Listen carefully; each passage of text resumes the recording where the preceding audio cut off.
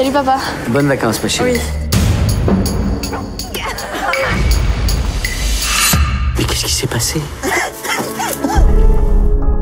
Pourquoi t'étais là le jour de l'autopsie?